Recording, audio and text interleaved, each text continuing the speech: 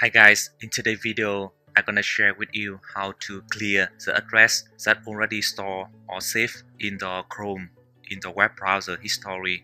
To give you an example, so let's say when you go to shopping online on Amazon.com and you want to type in the shipping address, if you have been using that address in the past already, chances it already saved in the Chrome and you can use autofill feature to complete the shipping form without typing the address.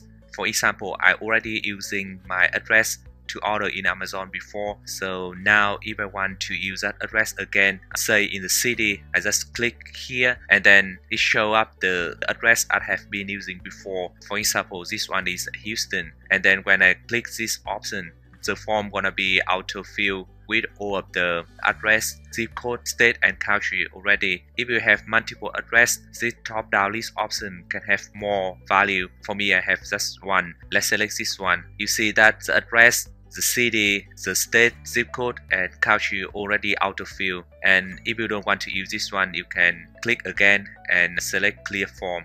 So what happens if you want to remove this autofill option? For example, you relocate or move to the new location and the old one is not relevant at all. You want to clear it out of the browser so that you do not make a mistake when you select the address or you can prevent to ship the item to the old address by that mistake. You can clean that by going to the Chrome setting and then select the setting.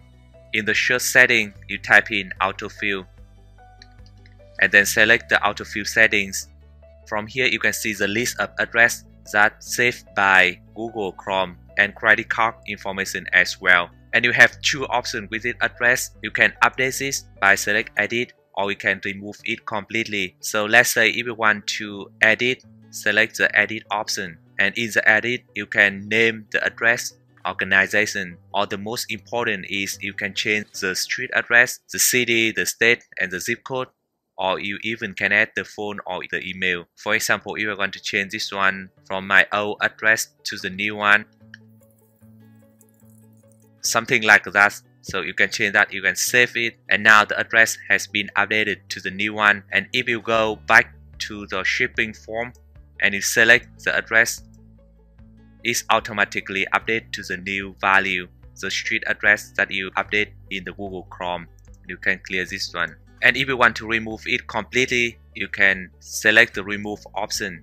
So the save address has been removed completely. And now when you go back to the shipping form and there's nothing happen when you click at all. So that's the way that you can clear the address. You can do the same thing with credit card as well. You can either edit it or you can clear it. So that is a quick tip to clear the save address and credit card in the Google Chrome I found this tip is very useful for myself who has been relocating from location to location in couple years and my web browser store all of my address and sometimes I miss a mistake. My Amazon's package was sent to the old address and have been working with them to reshipping redirect it to my new location. By organizing this one, clear out the old address, I'm able to manage it very well. So I want to share this tip with you guys.